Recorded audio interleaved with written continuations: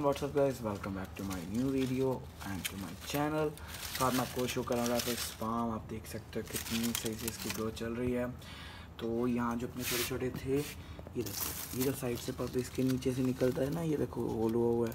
तो कभी कभार बाहर आए थे तो ये इसको भी आप रोक सकते हो। तो मैंने एक, वो भी मैथड से इसको वेजिटेटिव प्रोपोगेशन की इसकी। तो देखो कितने सही से ये दो थैलियों में बन गए हैं अब, कितनी बढ़िया इनकी ग्रोथ चल रही है। और बड़े वाले भी कितने बढ़िया से हैं। इसको मैं इसलिए भी थैली में रखा हुआ है बिकॉज़ इसकी मैंने अभी शिफ्टिंग करनी है दूसरे घर में सो वहाँ पर जाकर बढ़िया से पॉट में बनाऊँगा। और ये देखो, ये छोटे छोटे में ये अभी छोटे से ही हैं, अभी देखो नीचे से इनकी टाल इतनी बड़ी नहीं हुई।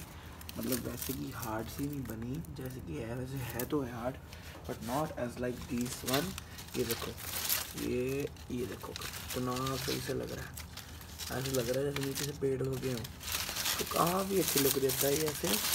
और इसमें आप गार्डन सॉइल यूज़ कीजिए, इसके पॉटिंग मिक्सर में सिक्सटी परसेंट ट्वेंटी परसेंट आप सैंड यूज़ कर लिए ट्वेंटी परसेंट आप इसमें को, उसको कोको बीट भी यूज़ कर सकते हो सैंड की जगह अगर आपने यूज़ करनी है। और साथ में बचे हुए में काउंटर डाल दो ट्वेंटी परसेंट सो आप ग्रोथ देख सकते हो कितनी अच्छी चल रही है। और इसको आपने सनलाइट में रख दो कम से कम तीन से मतलब आप दो से चार घंटे तीन से चार घंटे इसको दे सकते हो। देखो लश्कीन पत्ते बन जाएँगे नए नए जो आएँगे।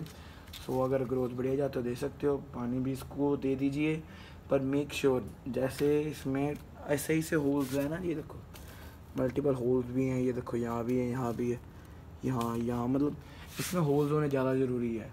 तो आप जो से पॉट में make sure that you should make the holes in the deep जो नीचे होता है नीचे बेस होता है हाँ इन द बेस उसको आप कम से कम पाँच छः होल बनाइए, इतने इतने बड़े बड़े और जितना आपका पॉट का साइज़ होता है ना, उसके अकॉर्डिंग आप उसमें होल कीजिए और बढ़िया से आपके प्लांट की ग्रोथ चलेगी। पानी का वही हिसाब है, इसको ज़्यादा पानी नहीं मतलब इसमें पानी खड़ना नहीं चाहिए, तभी मैंने कहा था, आप इसमें मीन्स ऐसे भी कर सकते हो फोर्टी परसेंट आप वो डाल दो क्या कहते हैं garden soil forty percent sand डाल दो, या कोकोपीट मीन्स हैंड यूज़ करो, ज़्यादा बढ़िया रहेगा।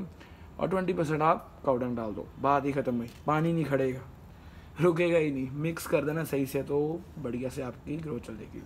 ऐसे कीजिए तो आपके रेफेस पाम की ग्रोथ अच्छी रहेगी। होप सो आपको वीडियो चलेगी अच्छी लगे तो लाइक कर देना चैनल पे। सब्सक्राइब कर देना मैं तो जल्दी हमारे नेक्स्ट वीडियो में। और अगर आपने रेफेस पाम के रिलेटेड नई वीडियो देखी, मेरे चैनल पर जाकर देख सकते हो। Thank you so much for watching bye